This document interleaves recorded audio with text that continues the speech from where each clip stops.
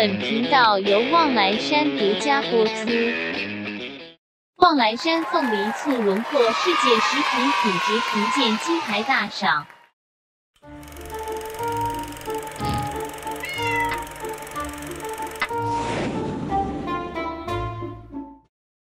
嗨，大家好，欢迎收看《望来知识家》。你平常有喝醋的习惯吗？醋是料理的调味品之一，近年来逐渐成为保健养生的宠儿。喝醋的好处有很多，消除疲劳、调节血液三节平衡、帮助消化、预防衰老、杀菌能力、促进新陈代谢、防止心血管疾病、利尿作用、增强肝肾功能、美容护肤等等。但是你知道你喝到的是好醋吗？食药署从一百零七年七月一日起实行包装食用醋标识规定。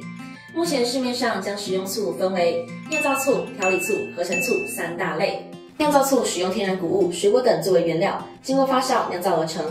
调理醋则是以酿造醋为原料，添加果汁、浓缩汁等制成品的果醋。合成醋以冰醋酸为原料，加水稀释而成。经过说明比较，酿造醋是作为保健的最佳首选。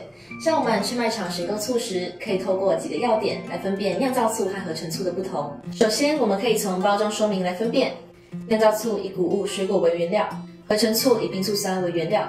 再来，从醋的颜色来辨别，酿造醋颜色透明，呈金黄或淡黄色。合成醋一体透明，无明显颜色。接着，我们可以试着摇晃瓶身。酿造醋会产生大量泡沫，泡沫细致，不易消失；合成醋泡沫少，且消失得很快。另外，在喝醋时也有特别要注意的地方：空腹、醋过敏、低血压、胃溃疡、胃酸过多的人要避免喝醋，不要没达到养生反而伤身。选择好的醋，正确的饮醋观念，才能达到保健强身作用。喜欢影片的话，请帮我按赞、留言、订阅频道。祝各位有美好的一天，我们下次见。再跟大家说明一下，我们望来山天然酿造的凤梨醋饮用方法：直接稀释六杯水来喝，或是加蜂蜜饮用，风味更佳。今天就这样啦，拜拜。